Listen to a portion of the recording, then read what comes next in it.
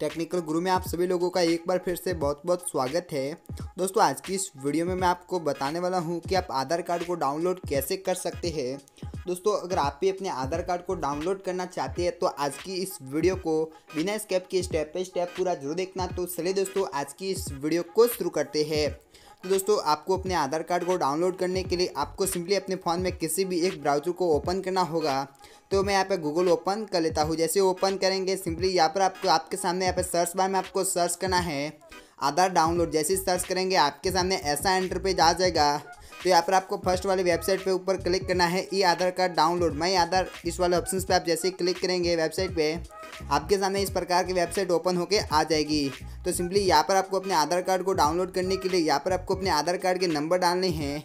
यहाँ पर जो भी आपके आधार कार्ड के नंबर है, उस नंबर को यहाँ पर डालना है। उसके बाद में यहाँ पर आपकी जो भी कैप्सा नीचे दिया हुआ है, इस कैप्से को आपको सिंपली नीचे की तरफ़ फिल करना है।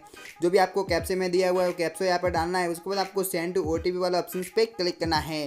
दोस्तों, यहाँ पर आपके आधार कार्ड जिस नंबर से लिंक रहेंगे, जो भी मोबाइल नंबर आपके रहेंगे, उस पर ओटीपी आएगा। ओटीपी डालने के बाद आपके सिंपली जो भी आधार कार्ड रहेगा, वो आपके सामने आ जाएगा। उसके बाद में सिंपली यहाँ पर नीचे की तरफ़ आपको आधार कार्ड डाउनलोड का ऑप्शन आ जाएगा। आधार कार्ड के नीचे, वहाँ से आप डाउनलोड वाले ऑप्शन पर क्लिक करेंगे तो आपका आधार कार्ड गैलरी में डाउनलोड हो जाएगा।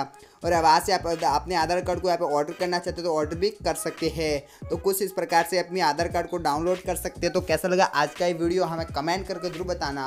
और वीडियो अच्छा लगा हो तो वीडियो को लाइक करना शेयर करना और आपने चैनल को सब्सक्राइब नहीं किया है तो चैनल को सब्सक्राइब करके बेल आइकन कॉल पर सेलेक्ट कर दो ताकि मैं अगला कोई वीडियो अपलोड कर दो सबसे पहले नोटिफिकेशन आपके पास पहुँच सके।